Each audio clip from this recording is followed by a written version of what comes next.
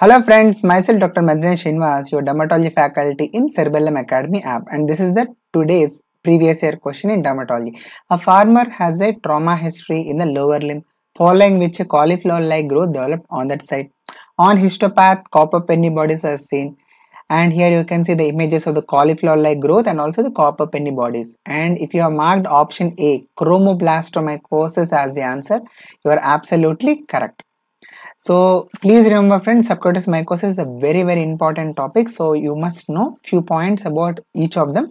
So coming to the first one, chromoblastomycosis, it is also called as verrucous dermatitis and it is produced by pigmented or dematiaceous fungi which are Fonsecaea pedrosoi, Fonsecaea compactum and Phialophora verrucosum. The next subcutaneous mycosis is sporotrichosis which is produced by Sporothrix and this is also called as rose gardener's disease. And here we can see very peculiar sporotrichoid pattern that is linear pattern of nodular ulcerative lesions in a lymphatic distribution. And we can see asteroid bodies on histopathological examination.